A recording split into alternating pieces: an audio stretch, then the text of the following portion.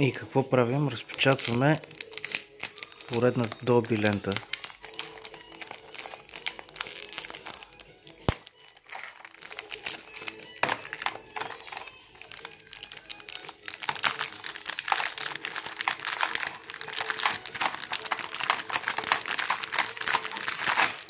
за да я сравним с предните две.